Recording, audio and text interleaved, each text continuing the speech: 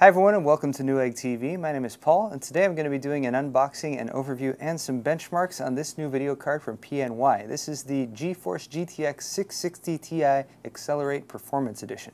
We'll start off with a closer look at the box. This is uh, pretty much a stock 660 Ti, and the 660 Ti is the newest release in the GeForce GTX 600 series from NVIDIA, which comes with a lot of cool features. You get a free three-month subscription to ESEA in the box. You also get a lifetime warranty from PNY if you purchase this product. And around here on the back, we have some more information, some video games you might be interested in playing with this video card, of course. Uh, Borderlands 2, actually.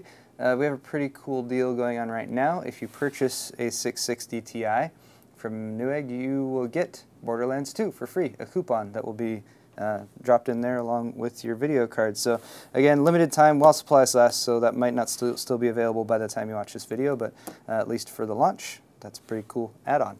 Uh, finally, some key features on the box over here. So this video card features 1,344 CUDA cores, uh, if that number sounds familiar, it's the same amount of CUDA cores in the 670.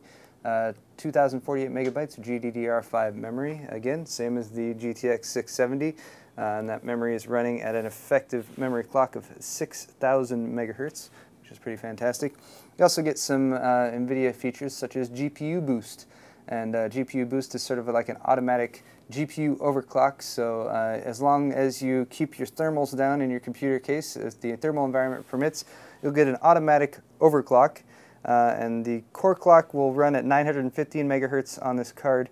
Uh, your boost clock for GPU boost can go uh, up to nine, or at least minimum of 980 megahertz, and I've found that in most video cards I've tested, it will actually go beyond that, but uh, each GPU is a little bit different, so you can test your individual card if you buy one. Uh, you also get TXAA and FXAA, which are anti-aliasing technologies from NVIDIA uh, that give you better uh, they're better eye candy with less of a performance hit, so keep your eye out for games that are compatible with those technologies. Adaptive VSync is a pretty cool feature. Uh, if you use VSync in games, it will sync the frame rate of the game with the frame rate of your monitor. So, for instance, a 60 hertz monitor, 60 frames per second. However, if your frame rate drops below that, it will have to drop to, for instance, 30 frames per second, uh, a multiple of 60, or a common denominator of 60, I guess. Um, so what what adaptive VSync does, it will turn VSync on or off depending on the situation uh, so that it will eliminate or reduce tearing and stuttering as a result of switching back and forth between the two. You also get NVIDIA Surround technology. You can support four monitors from this video card. You can use three of them for gaming, and that is NVIDIA Surround. There's your display outputs. I'll show you those again on the card. DirectX 11, NVIDIA PhysX, NVIDIA 3D Vision. Uh, you can do three-way SLI with the 660 Ti if you want to purchase more than one. Uh, you also get NVIDIA CUDA technology, of course. PCI Express 3.0 support. Don't worry, it's also backwards compatible Gen 2 or 2.1. OpenGL 4.2. Uh, there's your onboard outputs, which is the same as up there. Anyway, and you also get uh, VGA connector and PCIe 3.0. Next up, an unboxing, and uh, just in case you're wondering, your ESEA uh, code is right under there. I've taped over this one so you guys can't copy it, but don't lose that. It's actually in the little sheath that the box is in. And I normally don't talk too much about product packaging, but I will say that I do like the PNY packaging for this card because it's not very big. As somebody who habitually keeps product packaging for just about every product I ever purchase. It's nice when they're not huge. You also get, you know, nice protective uh, plastic shroud here. It's very sturdy. There's enough cushioning on all the sides that you're not going to have the card damaged. It's minimalist, but it gets the job done. Anyway, enough about the packaging. Here's some accessories. You have a uh, Molex to PCI Express power connector adapter. Um, the card has two 6-pin PCI Express power connectors uh, it's recommended to have at minimum a 450 watt power supply for your entire system as well as the card. Um, you will need at least one more 6-pin PCI Express connector, but if you don't have two of them, you can use a couple Molex, you can use a couple Molex plugs into this, plug that into your card, and that will power the card. Over here, we have a DVI to VGA adapter, so uh, you can use this with one of the DVI ports on the card. That would be the one that supports analog, so if you have an older monitor, you can use that to connect it. Here is your software installation manual and CD. It says CD, but I don't see a CD. You know what, they might have taken the CD out of this because uh, sometimes when they give me, because they, actually gave me this to review and uh, they wanted me to use the updated drivers, but I went ahead and used the, the CD drivers anyway, so if you do get a, a, CD with this card, it will most likely ship with the Forceware 304.87 drivers. Those are the ones I use for the benchmarks I'm going to show you. Um, but uh, invariably you should go to the NVIDIA or the PNY website to download the latest drivers because you'll get better performance. But since I'm doing benchmarks prior to launch, that's what was available to me. So anyway, uh, there's your full instructions for installing the card and whatnot. And then of course we have the video card itself.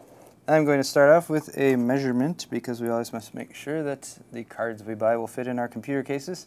And I'm showing, if you can see at the end there, just a little bit past nine and a half inches measured from the PCI bracket. So give yourself nine and three quarters just to be safe. Should fit in most computer cases that have enough room for a discrete video card, thankfully. And this is essentially the reference design for this video card as dictated by NVIDIA that PNY has gone with. Uh, they've of course put some of their own labeling on here on the uh, outer pieces of the card as well as on the uh, blower fan that they have right there at the end. And uh, what this is is a shroud style cooler. Now shroud style coolers have their advantages and disadvantages and um, just to be straight up, uh, shroud style coolers are pretty much enclosed here. Uh, you're not going to have much gap, even here at the end is completely closed. So the blower style fan is going to be pulling air in this way. It's going to create some positive pressure down here. It's going to direct that air across the uh, fins from the heatsink, which is under the shroud right there, which is primarily living right on top of the GPU itself. And the benefit you get here is that uh, that air is primarily going to be pushed out the back end of the card. I've found in my testing so far the shroud style coolers are running a little bit hotter than the open air coolers, but uh, the trade-off there is that this is going to be ejecting the air mostly out the back of your case rather than ejecting it all directions inside your case. So whereas the GPU itself for this one might run a little bit warmer than the open air coolers, uh, your ambient temperature in the computer case is going to stay a little bit lower, so that's not going to affect your CPU temperatures and that. Uh, so depending on uh, what configuration you have, one or the other might work better for you. Uh, here at the bottom we have the PCI Express connector, of course, PCI Express Gen 3 compatible, backwards compatible with 2 or 2.1, uh, so don't worry about that if you're running an older motherboard. Uh, up here we see the PCB and uh, you might recognize this design because this is essentially the same design that you saw with the GTX 670 when it launched. It's got a really short PCB, it's only about 7 inches long and then at the end here is just some extra space there for the shroud cooler and that blower fan down there at the end.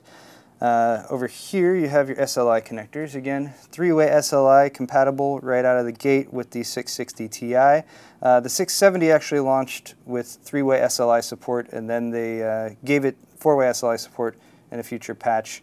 I can't really speak to that, but at least as of right now you can do three of these cards uh, in an SLI configuration with a compatible motherboard, of course.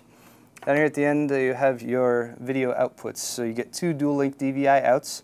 Top one here is digital only, the bottom one is digital and analog, so if you're going to use that adapter, use it with the bottom plug right there. Both of these are capable of 2560 by 1600 resolution if you connect it to a monitor that can handle that resolution. Uh, you also have your HDMI right here as well as your DisplayPort 1.2. Alright, so some more detailed specs about this card. The GPU that's used, the code name of the GPU is the GK104. Again, that's the same GPU that's used in the 670 and the 680. Uh, it has, it's based on the 28 nanometer manufacturing uh, process. Code name is Kepler, hence the GK. The K in the GK is for Kepler.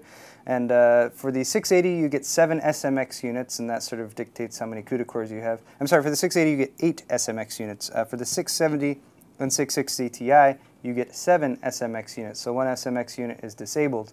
Um, however, the biggest difference between the 680 and the 670 and this card, the 660 Ti, is going to be your memory. Uh, so you can see a couple of the memory modules uh, that are uh, right up there. Uh, the biggest difference is memory bandwidth.